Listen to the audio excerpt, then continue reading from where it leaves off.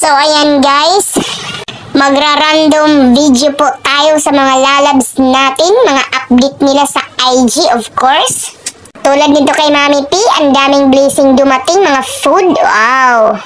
Ibang klase naman talaga mga nagmamahal sa kanya. Laging binubusog yung Mami Potato natin. Sige mami, magpataba ka. Iba talaga siya pag mataba, guys. Although na, maganda rin naman siya kahit payat kasi hot naman talaga siya. Pero mas maganda talaga siya tingnan. Taba siya konti. Iba yung karisma niya kapag may kunting laman siya sa katawan.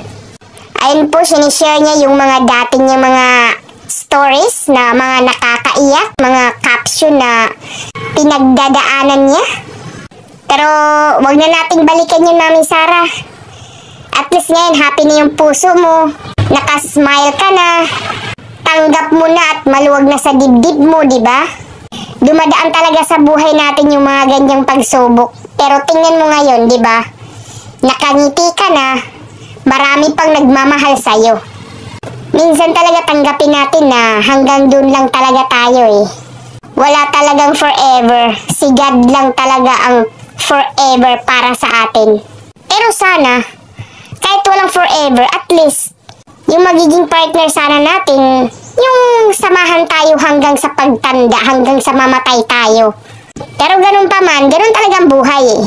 Minsan matatalisod ka talaga, pero kailangan mong umahon or bumangon. Dahil hindi ka pwedeng magpakalugmok lang. At isipin yung nakaraang pait. Tingnan mo, di ba? Andyan ka na sa tuktok, huwag mo nang bitawan. Kaya walang bibitaw sa pamilyang to. Mula ngayon, sa tatahaki mong journey. Mas marami ka pang friends ngayon at maraming fans na nagmamahal sa'yo. Dito si Sir Jan, oh, tingnan mo. Nakakakilig din naman tong mga to.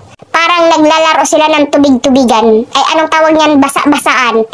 Ay, naku mga akla to, mahaharot din. Mhm. Bumalik si Sir Vin sa pagkabata. Ayan, nagpapadilig kay Sir Jan. Charot. O ayan, si Sir Jan naman yung dinidiligan niya. Hindi pa ba ubos yung diligan nyo? Char. Wala, nakakatuwa din talaga mga couple na to, no? At least happy silang dalawa. Kahit nagbabasaan sila, ba? Parang bumalik sila sa pagkabata nila. Tingnan mo si Jan dito, nagpapapedicure. Wow, charot. Mas malinis pa yung kuko nila kaysa sa akin. Hindi talaga sila, ang lilinis talaga nila sa katawan. Tingnan mo, si Sir Jan, nagpapalinis ng kuko. Ang kulang din nilang dalawa tingnan. Hindi sila, ah, stress-free sila. At least hindi sila bias, di ba? Mapatans man, map, mapa, ma, mami Sara. At least, yung mga ganyan, support pa rin sila sa kanya-kanya nilang buhay, di ba?